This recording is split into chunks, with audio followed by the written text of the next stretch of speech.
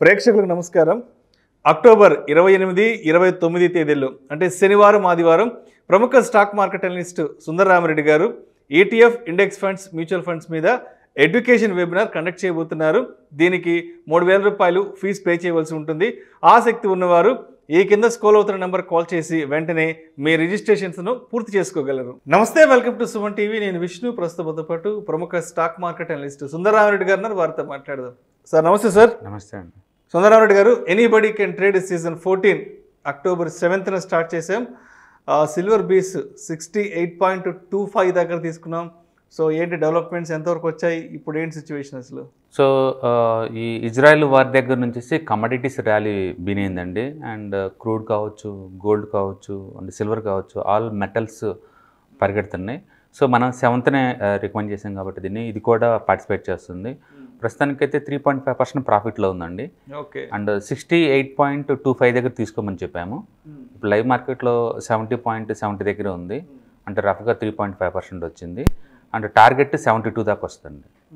ఒక వన్ వీక్లో seventy two వచ్చినప్పుడు మనం క్లోజ్ చేద్దామండి. ఎంటైర్ మార్కెట్ బాగా డౌన్ టర్న్ అవుతుంది బాగా షివర్ అవుతున్న టైంలో అండ్ ఈ మాత్రం పర్ఫార్మెన్స్ వస్తుందంటే బికాస్ ఆఫ్ ఇది మెటల్స్ కాబట్టి. కాబట్టి ఇన్ టైంలో ఎంటర్ అయినట్టు అనిపించింది మెటల్ మాత్రం. రైట్ సో వరల్డ్ వైడ్గా బాగా మార్కెట్లు ఇది అండ్ అండ్ అమెరికా పడంగానే వెంటనే గిఫ్ట్ నిఫ్టీ డౌన్ అవుతుంది. గిఫ్ట్ నిఫ్టీ డౌన్ కాగానే ఇండియన్ నిఫ్టీ డౌన్ అవుతుంది. ఎవ్రీడే ఇది ఇలానే జరుగుతుంది. బట్ ఇండియాలో ఎంతకంత స్ట్రాంగ్ ఉంది కాబట్టి మార్నింగ్ ఓపెన్ అయినప్పుడు గ్యాప్ డౌన్తో ఓపెన్ అయినా అంతే స్టేబుల్గా ఉంటుంది. అట్లా సో ఓవరాల్ చూసుకుంటే మాత్రం మార్కెట్ బాగా స్ట్రగుల్ అవుతున్నట్టు కనిపిస్తుంది. And nineteen thousand two hundred దాటి కిందకి రానంత వరకు మార్కెట్ స్ట్రాంగ్గా ఉంటుందండి. బట్ ఒకసారి అది క్రాక్ అయితే కనుక పోర్ట్ఫోలియోస్ మొత్తం క్లోజ్ చేస్తుంటారు కాబట్టి ఇంకా డౌన్ సైడ్ వచ్చే ఛాన్స్ ఉంది అక్కడ. అందుకు nineteen thousand two hundred crack అవ్వకుండా ఉండటం అనేది చాలా ఇంపార్టెంట్ ఈ మార్కెట్కి. అలాగే up side nineteen thousand eight forty దాటాలండి. దాటితే కనుక ఆల్ టైమ్ హై సరిపోద్ది మార్కెట్. సో దీని రేంజ్ అనమాట nineteen thousand two hundred versus nineteen thousand eight forty ఈ రేంజ్లో అటు ఇటు ఊగుతూ ఉంది.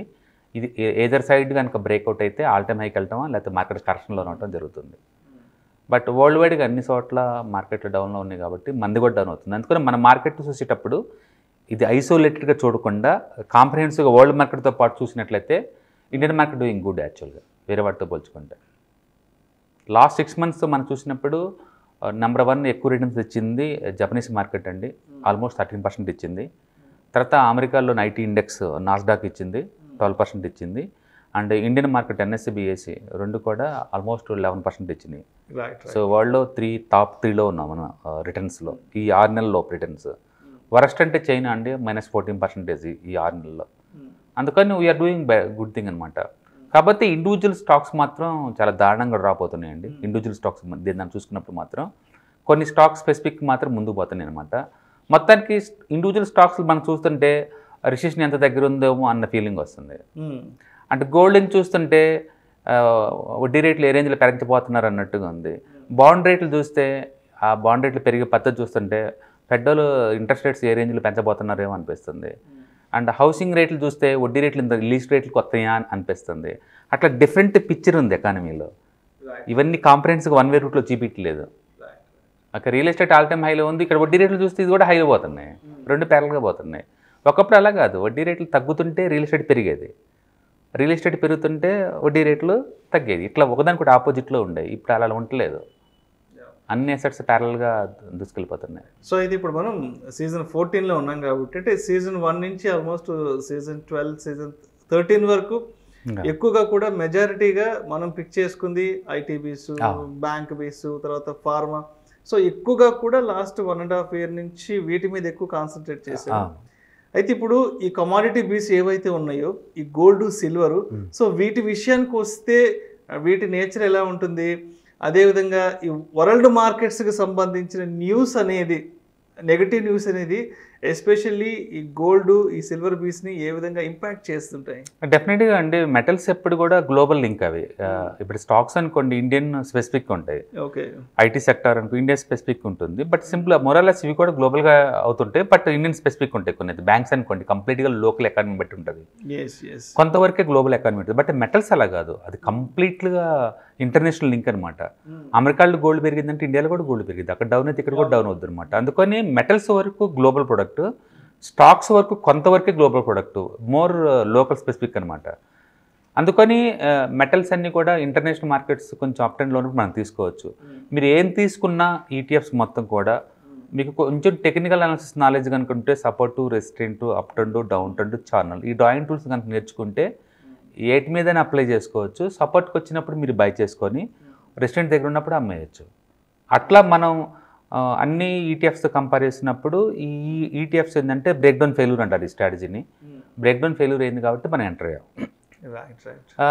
లక్కీగా ఈ వార్ కూడా జరుగుతుంది కాబట్టి ఇది ఇంకా పర్ఫార్మెన్స్ కొంచెం స్పీడప్ అయింది అనమాట hmm. అది స్పీడప్ అయిపోయింది. అంటే టార్గెట్ సెవెన్ టు టూ పెట్టచ్చు. ఇంకా థర్టీన్త్ నేను క్లోజ్ చేయలేదండి బ్యాంక్ బేస్ ఉంచుకున్నాను. ఎరడు కావాలంటే ఉంచుకోండి. అదైతే ఇప్పుడు మైనస్ వన్ uh, దగ్గర ఉంది. సో ఇది ఇప్పుడు ఒకవైపు ఈ ఇజ్రాయెల్ పాలస్తీనా యుద్ధం జరుగుతోంది. అంటే చెప్పాలంటే చాలా పెద్ద నెగిటివ్ ఇంపాక్ట్ మార్కెట్స్కి అండ్ మరోవైపు ఇండియాలో చూస్తే ఫెస్టివల్ సీజన్ పెద్ద ఎత్తున స్టార్ట్ అయిపోయింది. ఫెస్టివల్ అందరూ కూడా పబ్లిక్ అంతా కూడా ఫెస్టివల్ మూడ్లోకి వెళ్ళిపోతున్నారు. సో అంటే ఇలాంటి మార్కెట్ కండిషన్స్లో మరి ఈ గోల్డ్ అండ్ సిల్వర్ బేస్ మూమెంట్ని మనం ఇంకా ఎంతవరకు చూసే అవకాశం ఉందంటారు? చార్ట్స్ చాలా స్ట్రాంగ్ చూపిస్తుంది. పర్టికులర్గా గోల్డ్ అయితే గోల్డ్ ఈటీఎఫ్స్ అయితే ఆల్మోస్ట్ ఫిఫ్టీ నుంచి ఫిఫ్టీ త్రీ దాకా మూవ్ అయిందండి. అంటే ఆల్మోస్ట్ సెవెన్ పర్సెంట్ మూవ్ అయింది. అంటే సిల్వర్తో పోల్చుకుని డబుల్ మూవ్ జరిగింది ఈ టెన్ డేస్లోనే దాని మీనింగ్ ఏంటంటే ఈ వార్ ఇంత స్ప్రెడ్ అవుతుంది అనుకోలేదు. అంటే ఇన్ని రోజులు ఉంటుంది అనుకోలేదు. బట్ అది స్ప్రెడ్ అవుతుంది కాబట్టి క్రూడ్ చాలా ర్యాపిడ్గా మూవ్ అవుతుంది అనుకున్న దానికంటే ఎక్కువ స్పీడ్గా అండ్ గోల్డ్ అయితే మరీ చాలా ఎక్కువ ఇదవుతుంది. ఎందుకంటే అది యూటర్న్ తీసుకుంది. బాగా పడేది కాస్తే ఒక్కసారిగా యూటర్న్ తీసుకొని బాగా పెరుగుతుందండి గోల్డ్. గోల్డ్ యూజువల్గా one వీక్లోనే three point five percent four percent అలా పెరిగింది అనుకోండి బై డిఫాల్ట్ ఈక్విటీ మార్కెట్ ఏదో జరగబోతున్నట్లు లెక్క అనమాట ఓకే. అందుకని గోల్డ్కి ఈక్విటీ ఎప్పుడు ఆపోజిట్లో ఉంటుంది. ఈసారి కూడా అదే జరుగుతుంది. గోల్డ్ ముందుకు పోతుంది కాబట్టి ఈక్విటీ డౌన్ సైడ్ పోతుంది. అండ్ సిల్వర్ అన్ని మెటల్స్ ట్రెండ్లో ఉంది. కాకపోతే ఇవన్నీ టెంపరీగానే ఉంటాయి మెటల్స్ ఎప్పుడు కూడా. అది సైక్లికల్ నేచర్ అనమాట స్టాక్ మార్కెట్లో యూనిఫామ్గా ఎక్కువ రోజులు ఉంటుంది ట్రెండ్స్ ఎప్పుడు కూడా. అందుకని బహుశా ఈ వారు కనుక అంటే ఇప్పుడల్లా అవ్వదు అంత ఈజీగా గాజా వర్సెస్ ఇజ్రాయెల్. ఇజ్రాయెల్ చాలా పెద్ద కంట్రీ అండి. గాజా చాలా చిన్న కంట్రీ వారు వన్ సైడ్ లాగా ఉంటుంది. లైక్ రష్యా వర్సెస్ యుక్రెయిన్ లాగా ఉంటుంది. అందుకని ఇజ్రాయెల్ ఎవరైనా కంట్రోల్ చేసేసి ఇద్దరికి వాళ్ళు కనుక బందీలను వదిలిపెట్టేసి సెటిల్మెంట్కి కూర్చుంటే తప్ప ఇది వర్కౌట్ అవ్వదు. And it take very longer time పడుతుంది దీనికి సొల్యూషన్ రావడానికి కాకపోతే ఆ- వారు ఇండియాని ఎఫెక్ట్ చేసే అంత పెద్ద ఈవెంట్ అయితే ఉండదు. బట్ ప్రపంచవ్యాప్తంగా ఏ స్టాక్ మార్కెట్ కూడా వార్స్ని డిస్టర్బెన్స్ని లైక్ చేయదు కాబట్టి ఇది నడుస్తుంది. ఈ మేజర్ ఇష్యూ ఏమవుతుందంటే ఇండియాలో హౌసింగ్ లోన్స్ ఎయిట్ పాయింట్ ఫైవ్గా దొరుకుతున్నాయి. అమెరికాలో మార్గేజ్ లోన్స్ కూడా ఎయిట్ పర్సెంటే. అది టూ మచ్ ఒకప్పుడు వాళ్ళకి వాళ్ళకి టూ పర్ త్రీ పర్సెంట్ దొరికితే మనకి థర్టీన్ పర్సెంట్ దొరికాయి ten years back ten years back ఇండియాలో హౌసింగ్ లోన్స్ ఏమో థర్టీన్ పర్సెంటేజ్ అమెరికాలో అది త్రీ పర్సెంటేజ్ ఇప్పుడు అమెరికాలో కూడా ఎయిట్ పర్సెంటేజ్ ఇండియాలో ఎయిట్ పాయింట్ ఫైవ్ కూడా దొరుకుతున్నాయి హౌసింగ్ లోన్స్ కొన్ని. అంటే టూ మచ్ ఎక్స్పెన్సివ్ అవుతున్నాయి అమెరికాలో. అందుకని రియల్ ఎస్టేట్ బబుల్ టైర్ అవుతుంది అక్కడ దాని ఎఫెక్ట్ అన్ని సెక్టర్ మీద పడుతుంది స్లో అండ్ స్టడీగా అందుకని ఫ్రీ మనీ అయిపోయింది వడ్డీ లేకుండా దొరికే మనీ అయిపోయింది. అందుకని స్టాక్ మార్కెట్లు నిజంగా ఇంత ముందులాగా పరిగెత్తుకుంటూ పోతుంటే పోవండి. అన్ని సింగిల్ డిజిట్లోనే అవుతాయి స్టాక్ మార్కెట్ వరల్డ్ వైడ్గా నెక్స్ట్ ఎంతవరకు ఉంటుంది అంటే ఈ వడ్డీ రేట్లు డౌన్ అయ్యేంత వరకు తప్పదు ఇది ఇంకా. అందుకని దీనికి మేజర్ కోర్ పార్ట్ ఎక్కడైందంటే వడ్డీ రేట్లు. రైట్ రైట్ అంటే బారోయింగ్ కాస్ట్ తగ్గితేనే బిజినెస్ హ్యాపీ ఫీల్ అవుతుంది. ఈ బారోయింగ్ కాస్ట్ పెరుగుతున్నంత కాలం ఎందుకంటే ఈ బిజినెస్లో ఏదైనా సరే ఎక్కువ వడ్డీ తెచ్చుకుని బిజినెస్ రన్ చేస్తాయి. వాళ్ళు తీసుకునే వడ్డీ eight to nine ten percent ఉందనుకోండి వీళ్ళు ఎంత సేల్ చేస్తే ఇది పోంగా డబ్బులు మిగులుతాయి వాళ్ళకి ఇంకా. చాలా టఫ్ అనమాట అందుకని ఎప్పుడైతే స్టాక్స్ ఫండమెంటల్ ఎంత స్ట్రాంగ్ ఉన్నా సరే బారోయింగ్ కాస్ట్ పెరిగితే కనుక ప్రాఫిటబిలిటీ తగ్గిపోద్ది ఆటోమేటిక్గా and raw material crude one year హైలో కూర్చుంది. రా మెటీరియల్ని వాడే కంపెనీస్ మొత్తం ప్రాఫిటబిలిటీ తగ్గిపోతుంది. అది కనుక డెట్రాడ్ అండ్ కంపెనీస్ అయితే ఇంకా తగ్గిపోతుంది. ఎందుకంటే ఇటు వడ్డీ రేట్లు ఒక ఒక ఎఫెక్ట్ ఇటు రా మెటీరియల్ కాస్ట్ ఒకవైపు ఈ రెండు వైపుల ఎఫెక్ట్ వల్ల ప్రాఫిటబిలిటీ తగ్గిపోతుంది. తగ్గబోతుందని ముందే విషయం తెలిసిందనుకోండి ఇన్వెస్టర్స్ అన్ని ఆ- పొజిషన్స్ అన్ని క్లోజ్ చేసుకుంటారు. అట్లా స్టాక్స్ బాగా స్ట్రెస్ గురవుతున్నాయి అనమాట బట్ ఆ టెండెన్సీ వరల్డ్ వైడ్గా ఉంది. అందుకని ఈరు ఇయర్ బహుశా నిఫ్టీ ఆల్రెడీ ఇప్పుడు ప్లస్ ఎయిట్ నైన్ పర్సెంట్ దగ్గర ఉందండి. అంతకంటే మూవ్ పెద్ద మూవ్ కాకపోవచ్చు. But small cap mid cap మాత్రం చాలా ఎక్కువ మూవ్ అయిందండి. Almost twenty five percent move అయింది. ఇండియా అదృష్టం ఏంటంటే నూట నలభై కోట్ల జనాభా కాబట్టి లోకల్గా ఉన్న చిన్న చిన్న కంపెనీస్కి చాలు ఈ మార్కెట్ చాలు. ఒక మార్కెట్తో సంబంధం లేదు. అందుకని మైక్రో క్యాప్స్ ఇన్వెస్ట్మెంట్ మంచి రివార్డ్ ఇస్తుంది గత టూ ఇయర్స్ నుంచి. ఓకే? అందుకని ఆ- ఏరియాలో ఇంకా ఆపర్చునిటీస్ ఉన్నాయి. ఎప్పటికీ ఉంటాయి కూడా. Thank you so much Sundara Reddy గారు. ఎనీబడి కెన్ ట్రేడ్ సీజన్ ఫోర్టీన్కి సంబంధించినటువంటి అప్డేట్స్ అందించినందుకు thank you so much sir.